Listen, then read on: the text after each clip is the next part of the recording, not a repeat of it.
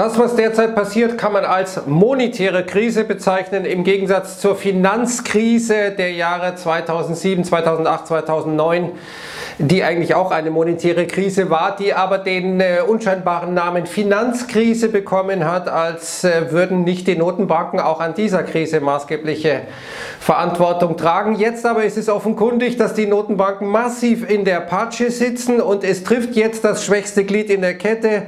Das ist die Bank of England, das ist Großbritannien nach dem Brexit in einer ohnehin prekären Situation mit hoher Inflation, Arbeitskräftemangel und äh, so vielen Versäumnissen der letzten Jahre. Da knallt es jetzt richtig und äh, London ist gewissermaßen das Epizentrum dieser monetären äh, Krise geworden und wir sehen jetzt, wie die Dinge sich überschlagen. Es ist fast wie ein Krimi, der derzeit abläuft, denn gestern Abend in Washington bei einem Auftritt hat der Chef äh, der Bank of England Bailey gesagt, äh, ihr habt drei Tage Zeit zu verkaufen. Und das nachdem die Bank of England ja gestern Vormittag, gestern Morgen nochmal eingeschritten war, ihre ähm, Anleihekäufe ausgeweitet hat. Äh, nämlich äh, Anleihen zu kaufen, die letztendlich durch die Inflation, deren Rendite durch die Inflation nach oben getrieben wird. Jetzt äh, will man also diese Renditeanstiege, diese Zinsanstiege begrenzen, indem man praktisch wieder Liquidität ins System schüttet, damit die Inflation wiederum anheizt, womit man dann wieder den Anstieg der Renditen aufgrund dieser Inflation durch neue Liquidität verhindern will. Das zeigt so ein bisschen das große Dilemma das die Notenbanken derzeit haben. Hören wir uns mal an, was Bailey gesagt hat. My message to the funds involved, you have three days left now so seine Aussage in Washington, you've, get to, you've got to get this done. The essence uh, of uh, financial stability is that intervention is temporary, not prolonged. Also hier sagt jemand faktisch, äh, wir wollen aus Finanzstabilitätsgründen nicht die ganze Geschichte länger machen, nämlich Anleihen zu kaufen, um diese Pensionskassen zu retten, die ja in totaler Schieflage sind äh, geraten sind. Und äh, hier sagt also jemand, naja, diese Finanzstabilität, die ist temporär wir intervenieren temporär aufgrund der Finanzstabilität, aber allen ist doch klar, wenn die aufhören zu intervenieren, dann ist es sofort wieder vorbei mit der Finanzstabilität. Dann könnten wir einen regelrechten Crash am Guildmarkt sehen, also am britischen Anleihemarkt, der dann die Pensionskassen über den Jordan schickt. Und der Zero Hedge fragt hier zu Recht, ist sein Teleprompter gehackt worden? Das ist das Dümmste, was man sagen kann, weil man damit ja faktisch ein Chaos auslöst, eine Drohung ausstößt, die die Finanzmärkte in Unruhe bringen muss.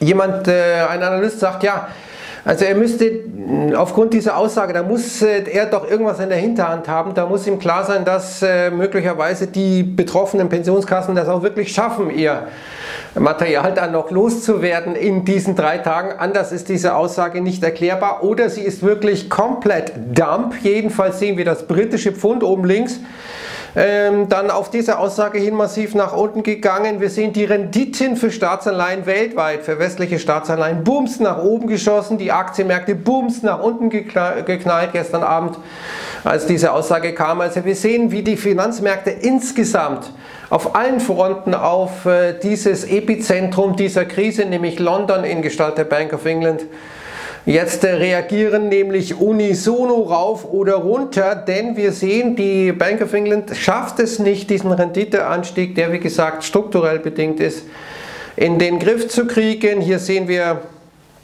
wie die Dinge sich äh, zugespitzt haben, nachdem die Truss-Regierung breiteste Steuersenkungen ja angekündigt hat, um die Wirtschaft zu stimulieren, damit faktisch die den Versuch der Bank of England konterkariert, die Inflation in den Griff zu kriegen. Also es ist unendlich lächerlich, was da passiert. Die Politik arbeitet gegen die Notenbank. Jetzt muss die Notenbank teilweise die Märkte retten vor der Politik, weil die Märkte ein Misstrauensvotum gegenüber der Politik ausgesprochen haben. Und dann Wenige Minuten später, nachdem hier wir gesehen haben, dass die Märkte sehr empfindlich reagiert haben, ein Bericht in der Financial Times, nein, die Bank of England hat in privaten Gesprächen diesen Pensionskassen in Großbritannien signalisiert, dass man äh, die Anleihekäufe länger machen werde, nicht also nach drei Tagen fertig sein werde. Und ja, es gibt keine Alternative dazu, denn wenn das äh, sozusagen so angekündigt wird und so passiert, nämlich das äh, zu stoppen, dann sehen wir einen äh, Crash am Anleihemarkt und das würde sich dann auf die Aktienmärkte Märkte etc. verlagern. Davon bin ich fest überzeugt, denn wir sehen ja, wie die Märkte unisono auf diese ganze Geschichte reagieren. Hier sehen wir mal, 5.10 Uhr am kam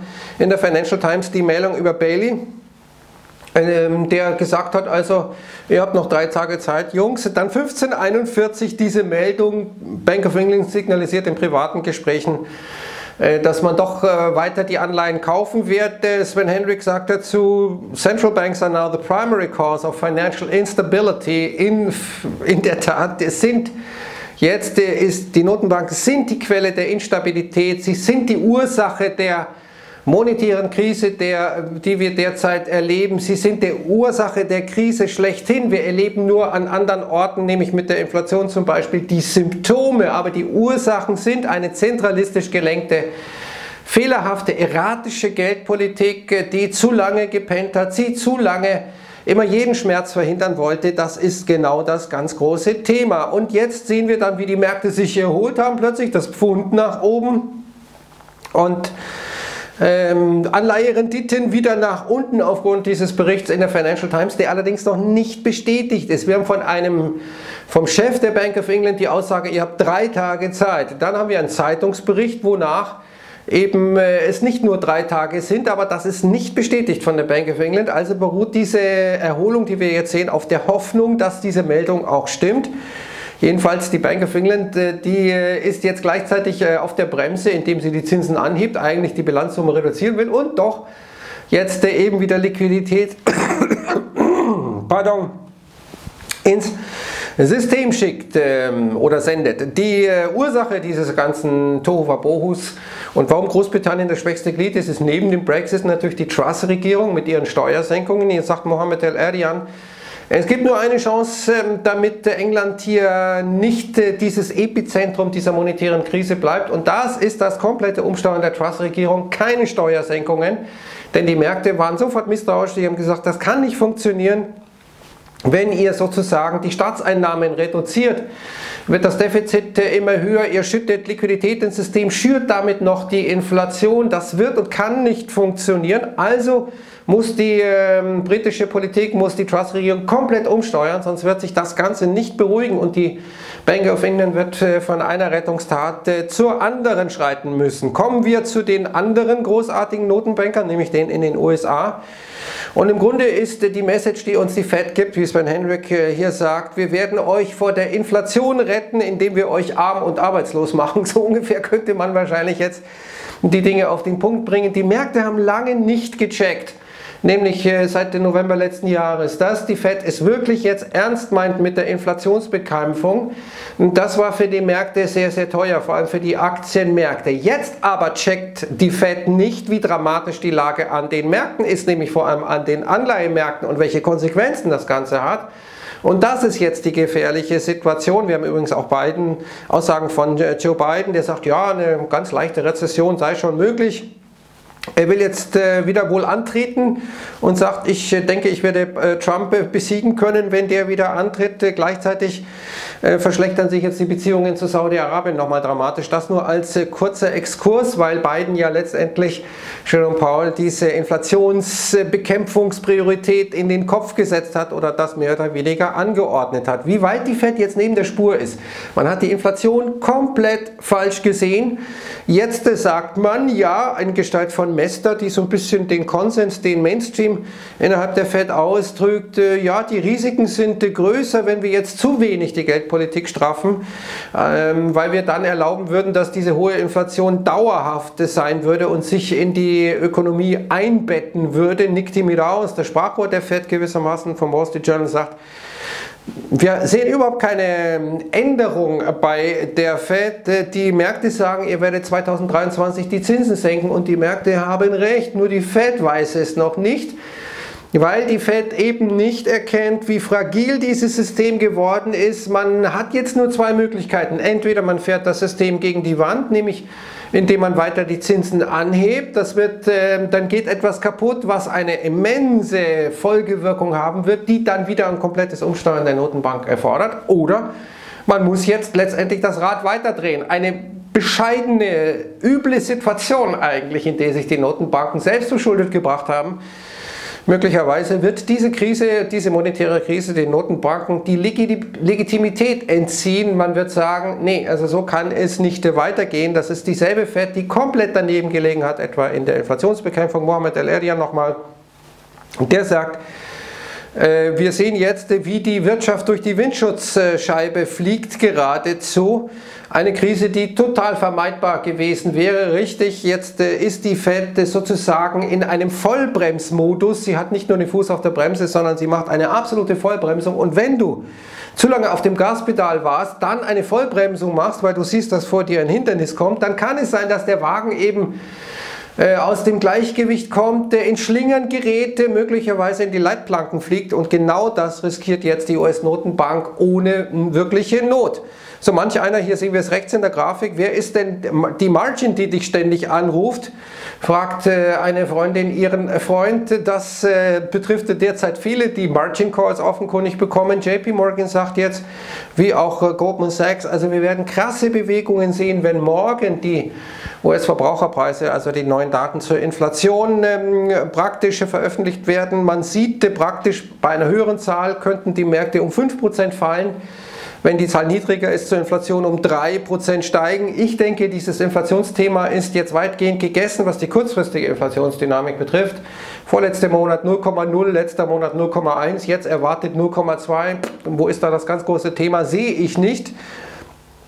Das ist ein Thema der Vergangenheit, äh, in dem sich die fest, äh, festbeißt, die Wirtschaft säuft so schnell ab, die Nachfrage geht so schnell runter, dass wir in sehr kurzer Zeit wahrscheinlich deutlich fallende Inflationsraten sehen werden. Und JP Morgan sagt jetzt hier, naja, nachdem der Jobs Report doch relativ robust war, ist äh, ein 75 Basispunkte Schritt eigentlich schon eingepreist und die Fed wird die Zinsen bis 4,75% anheben und sie da auch belassen. Morgan Stanley sagt also, diese Rent Inflation, die wird weitergehen und das ist das eigentliche Risiko eben auch in Sachen höherer Inflationszahl. Das sind die Mieten, aber das sind Daten aus der Vergangenheit, weil die Datenerhebung letztendlich verzögert passiert. Das heißt, die Fed agiert konstant mit Daten aus der Vergangenheit äh, und versucht die aktuelle Lage dadurch zu beurteilen. Das zeigt, wie antiquiert, wie neben der Spur diese Notenbank wirklich ist. Man erwartet hier eine Headline-Zahl von 0,2% 0,21 und 8,1 Prozent Year over Year. Wir sehen aber am Arbeitsmarkt, da kracht es jetzt schon richtig, etwa Intel, die planen jetzt äh, mehrere tausend Jobcuts und das sind nicht die ersten und nicht die letzten, die jetzt Leute entlassen werden. Wir haben heute die Erzeugerpreise, das ist schon mal eine wichtige Indikation, erwartet 8,4 Prozent. Und hier sehen wir etwa bei den Erzeugerpreisen, da sind wir in den letzten Monaten eigentlich konstant unter der Erwartung geblieben und wir sehen, wie diese Erzeugerpreisdynamik in den USA anders als in Europa, komplett anders als in Europa, doch deutlich zurückgeht. Also die Pipeline-Inflation wird weniger. Auch für mich äh, ein Anzeichen äh, für das, was kommt. Gleichzeitig haben wir jetzt aufgrund der Fed-Politik einen extrem starken Dollar und wir sehen, die Welt ächzt unter diesem starken Dollar. Das erhöht die Schuldenlast für viele, die in Dollar verschuldet sind. Und wenn wir uns jetzt mal äh, die Dinge am Devisenmarkt anschauen. Hier Dollar-Yen in einem Chart von Capital.com, höchster Stand seit 24 äh, Jahren. Also der, Dollar, der Yen so schwach zum Dollar wie seit 24 Jahren nicht mehr über 146. Da ist also die nächste Notenbank in der Patsche von der EZB wollen wir gar nicht sprechen, doch gleich werden wir auch kurz von der sprechen. Wir sehen hier auf jeden Fall jetzt der Nasdaq mit äh, einem Verlust von 33,4 Prozent seit Jahresbeginn fünf Tage in Folge ähm, negativ, zwei Jahrestief. Der S&P 500 hat von den letzten, letzten 16 Handelstagen 13 negativ beendet. Also da ist so einiges in der Mache. Dennoch könnten wir jetzt so eine Art kleinen Doppelboden ausgebildet haben mit einer Reaktion nach oben aus Erleichterung. Die Frage ist, wie nachhaltig, wie lange die da ist gegenüber dieser Meldung jetzt oder wegen der Meldung, dass die Bank of England dann doch länger die ganze Geschichte machen wird. Wo könnten die Ziele sein, wenn es jetzt mal nach oben geht, bevor dann wahrscheinlich die nächste Welle nochmal nach unten gehen wird mit neun Tiefs. Das zumindest ist das Szenario von Ron Walker, der mit seinen Signalen hervorragend legt. Wir könnten so um und bei in den Bereich 3700 laufen, 3720. Das wären denkbare Ziele einer solchen Erholung. Morgen, wie gesagt, die Inflationsdaten natürlich entscheidend. Heute Abend haben wir noch die FOMC äh, also die, äh, das äh, FOMC-Protokoll. Wir haben die Erzeugerpreise heute. OPEC wird ähm, wichtiges kundtun. Wir haben Bowman und Kashkari von der Fed, auch unsere großartige Inflation Madame Lagarde wird sprechen. Morgen die G20-Finanzminister. Dann haben wir Daten aus China. Wir bekommen Daten zu den US-Einzelhandelsumsätzen und äh, ja, am Freitag soll das Emergency Bond Buying enden. Äh, der Bank of England. Mal sehen, ob es wirklich so ist. Kommen wir jetzt zur anderen großartigen Notenbank, die ähnlich viel in der Patsche sitzt oder ähnlich stark in der Patsche sitzt. Wir sehen hier Villeroy, der Franzose, der gesagt hat, ja, ich lege jetzt mal einen Plan vor zur Bilanzreduzierung. Herzlichen Glückwunsch, Herr Villeroy und EZB. Ähm, das wird dann euer Sargnagel sein. Ihr könnt in dieser Situation, wo ihr vorher total gepennt habt, jetzt auch nicht noch eine Vollbremsung hinlegen, sonst ähm, klatscht die ganze Geschichte sowieso gegen die Wand. Und wie teuer dieser Renditeanstieg wird, er ist existenzgefährdend für viele Player innerhalb des Finanzsystems, aber er ist teuer eben auch für die Staaten. Hier sehen wir, dass etwa im Jahr 2030 äh, Italien äh, um und bei über 8% nur an Zinsen bezahlen wird seines BIPs. Das ist eine nicht nachhaltige Situation. Deutschland steht da relativ gut da, by the way aber auch Länder wie ähm, äh, USA zum Beispiel über 5% im Jahr 2030. Es wird immer mehr, also diese Geschichte, die ist schon eine gewisse Dramatik, äh, die wir hier erkennen. Dramatisch auch jetzt übrigens die Lage in der Baubranche. Acht Insolvenzen gestern. Insgesamt gestern 30 Firmenpleiten, aber wir sehen, es trifft jetzt den Bausektor, der Immobiliensektor ist jetzt am Kippen hier in Deutschland, auch in den USA. Äh, das wird ein riesiges Thema und wenn wir jetzt nochmal zum äh, Thema Gas kommen, heute werden sich die Energieminister wieder treffen. Man schlägt jetzt vor, äh, praktisch gemeinsam Gas einzukaufen, damit die Länder jeweils sich nicht überbieten mit äh, Preisbereitschaften, also dass man sich äh, überbietet bei den Preisen, die man bereit ist zu zahlen. Vor allem die Deutschen sind da ja ganz, ganz weit vorne dabei und da werden wichtige Dinge heute angesprochen. Hier die erste Artikelempfehlung, die das thematisiert. Wie sind eigentlich die Positionen? Die Deutschen sind eigentlich gegen Gaspreisdeckel, andere sind dafür, was da sozusagen wirklich an Konfrontation es geht aus diesem Artikel hervor. EU könnte als ersten Schritt Gas für Stromerzeugung deckeln. Absolut druckfrisch dieser Artikel, meine Damen und Herren. Ich habe noch schwarze Finger davon. Äh, weil wir den äh, gerade gebracht haben auf Finanzmarkt Welt und dann eben Bank of England Anleihekäufe doch über Freitag hinaus, dass äh, dieses äh, Shakespeare-Drama so ein bisschen auf den Punkt bringt, was da gespielt wird, wer die Akteure in diesem Drama sind. Im äh, Epizentrum dieser Krise, dieser monetären Krise London. Äh, das ist ähm, ein Must-Read, meine Damen und Herren. Zwei Empfehlungen. Heute Abend natürlich das Markeflüster, morgen Videoausblick. Dann mache ich kurz nach den Inflationszahlen ein Markeflüster mit einer ersten Reaktion. Am Freitag wird es dann keine Videos geben, aber jetzt sage ich erst einmal Servus und Ciao.